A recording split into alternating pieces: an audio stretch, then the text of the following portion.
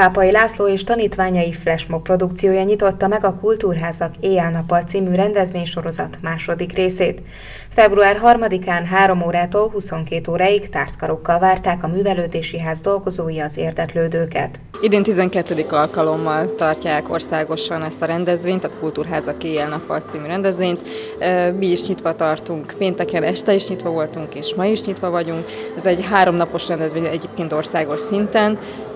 Én azt gondolom, hogy ez mindenképpen jó dolog, hogy évente egyszer oda is betekinthetnek az érdeklődők, ahova egyébként nem. Tehát aki kíváncsiak, körbevezetjük a házba, betekinthetnek a kulisszák mögé. Én azt gondolom, hogy Dombováron is vannak azért érdekes dolgok. A rendezvény sorozaton a Szenyor Tánc Együttes mutatta be, hogyan is mozognak, szórakoznak egyszerre az 55 év felettiek, a legbátrabbak pedig be is állhattak kipróbálni a tánclépéseket.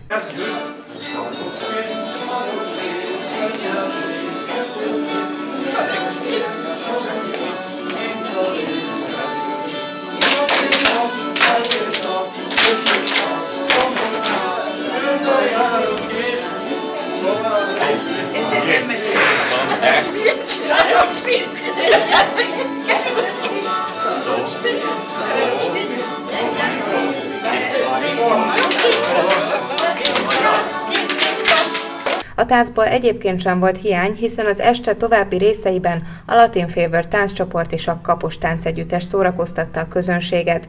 A ritmusra mozogni vágyók pedig szintén beállhattak a fellépők sorai közé.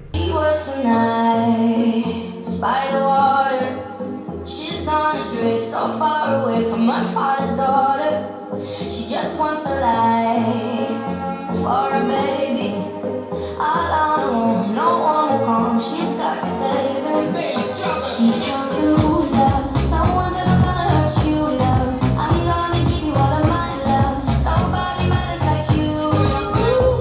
A kézműveskedés szerelmeseit pedig a szép teremtő kaláka várta, akikkel a gyertyaöntés folyamatát sajátíthatták el a rendezvénysorozatra érkezők.